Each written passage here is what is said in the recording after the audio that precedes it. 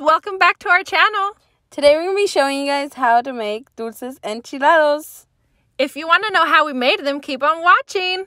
So what you're going to need is some sugar, Some chamoy some Lucas, and some tajin or Valentina as we used.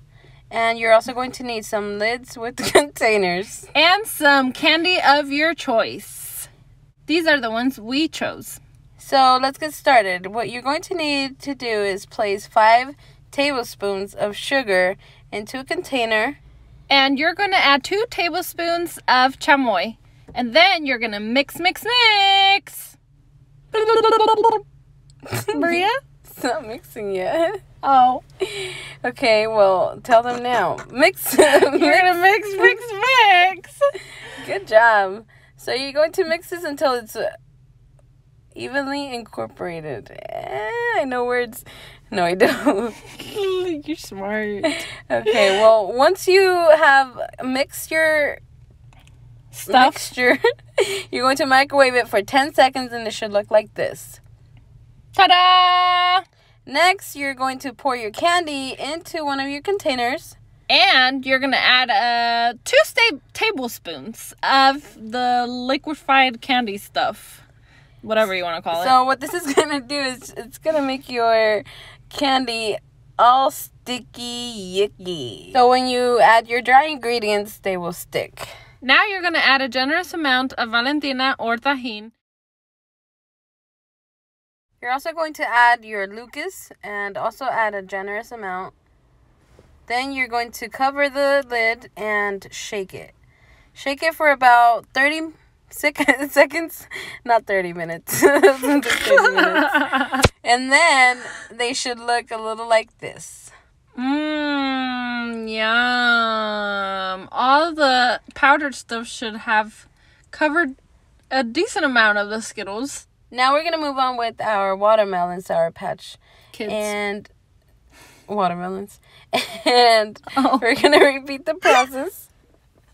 I thought they were kids. Why does it say kids? It does say kids. They are watermelon kids, I think. So you're just gonna blend, blend, mix, mix, cover. Make sure that every Kid. watermelon or kid, every candy is coated, and you're gonna continue to add your uh, tajin or your Valentina, whichever you prefer, And your Lucas. and shake, shake Right for there. another thirty seconds, and you should have something that looks a little like this. Mm-hmm. Some deliciousness. Mmm, they were so good. Now we're moving on to regular Sour Patch Kids. Kids. and guess what? We're gonna repeat. Oh shit! Nope, we're moving right on to the final product. This is what you get when you repeat the steps. Yep. Um, We hope you guys enjoyed this easy, fast, simple recipe that we found online and decided to recreate ourselves too. And maybe you guys will give it a try. And for those that have made it this far in our video, we do have a surprise at the end. So stay tuned. something else we decided to recreate. Ooh. So we're gonna be showing you guys how we dress a beer. We don't drink, but you know we could use it for any other kind of juices. You're gonna start with a pelon pelo rico, put it in a container, and you're going to microwave it for 10 seconds so it can get soft. Once it's soft, you add some tajin or, Or- Valentina and your Lucas, mm-hmm. and you are going to stir that in. Now you're gonna squeeze a whole lime into your mixture.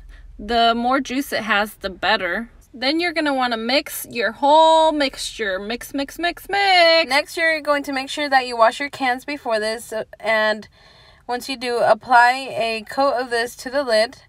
Then you can sprinkle some more Valentina or tajin onto the top of the can, as well as a couple drops or whatever amount you want of chamoy. Make it look something like this. Lastly, what you do is add some lime to the very top and enjoy. Drink responsibly, you guys. We hope you guys enjoyed this video. And Don't forget to keep keep keep liking, subscribing, and commenting. Bye. Bye.